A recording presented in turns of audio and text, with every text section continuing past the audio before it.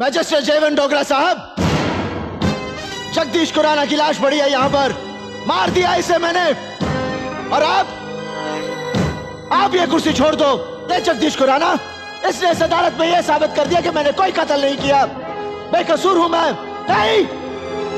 मैंने एक नहीं, चार चार खून किया मैंने। ये बात ये बात ये भी जानता था। जिसका गला दबाकर मैंने मारा था, उसके मुँह से खून निकला था या नहीं? उसकी आँखें खोली थी या बंद? ये सब सब ये जानता था। दस करोड़ रुपए लिए थे इसने मुझे बचाने के लिए।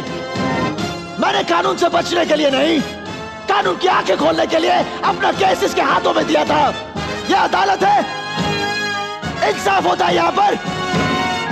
सच्चाई और झूठ की परख होती है यहाँ पर। नहीं, यहाँ पर कुछ नहीं होता।